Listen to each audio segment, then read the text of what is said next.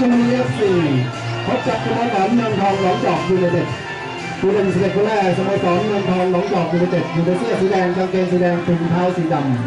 ำผู้รักษาตัวหมายเลข26กวินธรรมสัจจานันท์หมายเลข3ประกาศิษย์แสนสุขหมายเลข5เจษฎาจิตสวัสดิ์หมายเลข6ณัฐพรพันธุ์ฤทธิ์หมายเลข8พัฒนพรสุวรรณ หมาชาติถามพันธ์หมายเลข15มุสาซิลาหมายเลข16พิเชษจินบางหมายเลข19พิชิตพงษ์เฉยฉิวหมายเลข21เอ็ดงโก้เซียก้าและหมายเลข24โซมาโฮโลยายาผู้การวิศวะโตคูเลอร์ผู้ฝึกสอนนายตะพลสุขภาพมผู้เล่นเ